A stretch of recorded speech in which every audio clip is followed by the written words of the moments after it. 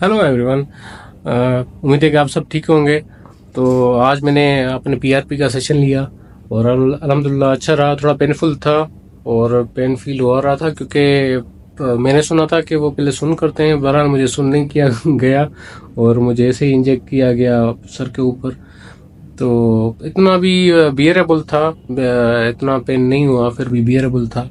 तो आज मेरी पीआरपी हो गई तो मैं आपको अपना दिखाता हूँ कि मेरी पीआरपी कैसे हुई है। Hope you like my videos और जो नेक्स्ट जो इन्फॉर्मेशन होगी और जैसे मेरा रिजल्ट्स कैसे आहिस्ता आहिस्ता आ रही हैं या, जो भी मेरा प्रोसेसर हो रहा है या जो भी जैसे ही मेरा जो हेयर जर्नी है चल रही है तो मैं आपको आस्ते आस्ते अपडेट करता चलूँगा।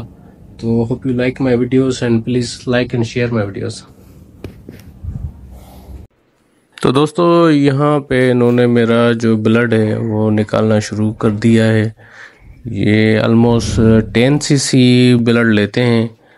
और उसके बाद जो इनका, जो मशीन होती है, जो रेड सेल और वाइट सेल सेपरेट करती है तो उसमें ये डाल देते हैं। तकरीबन ये ऑलमोस्ट दस से पंद्रह मिनट का प्रोसेस होता है।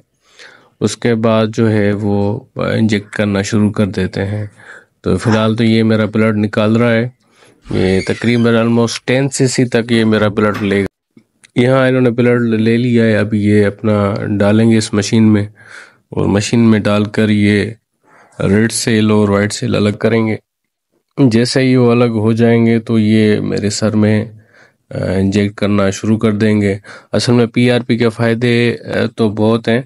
और आपके जो फॉलिकल्स हैं, उसको भी सेफ़ करता है, उसको ताकत देता है, जो एग्जिस्टिंग हेयर्स हैं, उसको भी काफ़ी ताकत देता है और ये हर डॉक्टर प्रेफर करता है कि आप कराएँ।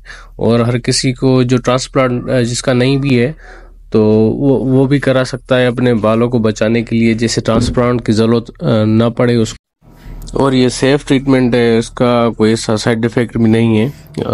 जो कोई बंदा डरे कि इससे कोई साइड इफ़ेक्ट है या कोई और चीज़, बल्कि फ़ायदे हैं। अपना ही ब्लड निकाल के, अपना ही ब्लड लगाते हैं। और ये काफ़ी हेल्पफुल है। जो ट्रांसप्लांटेड है, उनके लिए तो है, जो जिनका हेयर फॉल ज़्यादा है, उनके लिए भी ज़्यादा ये हेल्पफुल ट्रीटमेंट है।